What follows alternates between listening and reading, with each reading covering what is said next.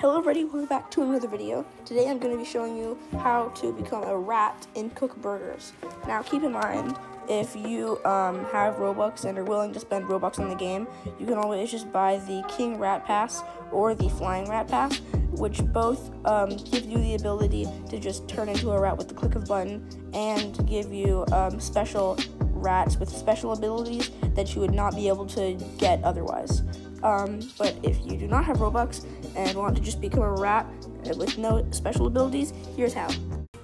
Alright, so first you want to go over to the back over here um, and go over to this little brick wall right over here and then just jump over it and this switch is right over it and you want to make sure this green light is on so if the red light's on you just flip the switch um, and make the green light on.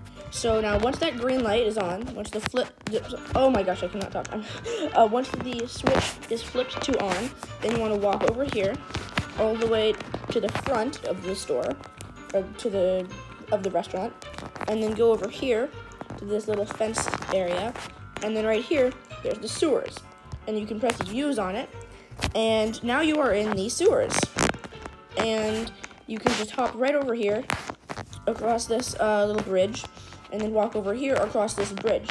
Now, the reason why we needed to flip that switch is that switch, um, it, it does, it makes this bridge. If it's on, this bridge is here. So, then we can walk across it, and then here, there is the potion, the, oh my gosh, I cannot talk. The potion, um, and if you press use on the potion, then you will become a rat. So yes, that's uh, how to become a rat in Cook Burgers. Thank you so much for watching. Um, if you enjoyed the video, make sure to leave a like.